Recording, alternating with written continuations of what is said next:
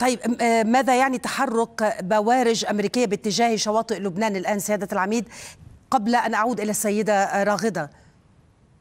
آه طبعا الوضع بلبنان متفجر. حتى قد يكون تحرك البوارج هو للضغط على نتنياهو لعدم الذهاب بعيدا والضغط على من الجانب الآخر على إيران وعلى حزب الله بعدم الذهاب بعيدا.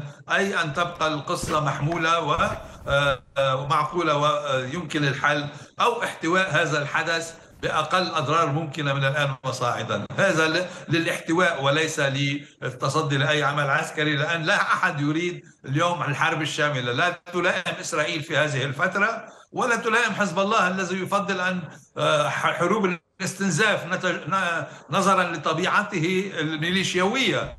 لذلك هو لا لا لا, لا يريد الحرب الشاملة مع جيش قوي مثل الجيش الإسرائيلي، الحرب الاستنزاف هي التي تلائم هكذا منظمات خارجة عن الشرعية وخارجة عن القانون وخارجة عن الدستور. لذلك أنا أعتقد التحرك الأمريكي هو للاحتواء وللضغط لعدم تصعيد من كلا الجانبين.